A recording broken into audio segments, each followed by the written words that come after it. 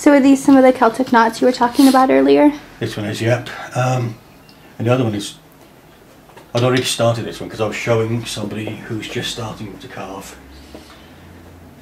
All her spoons look very, very heavy because she's just finishing off the heart like this. Uh-huh. Whereas by rolling the edges over, it leads the eye to the edge. So although those two hearts are both the same size, this one looks far bigger. Oh, okay, I see.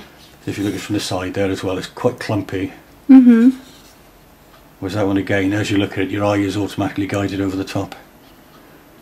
So now is this um, something that you're making that someone has ordered or is it just for your shop in general?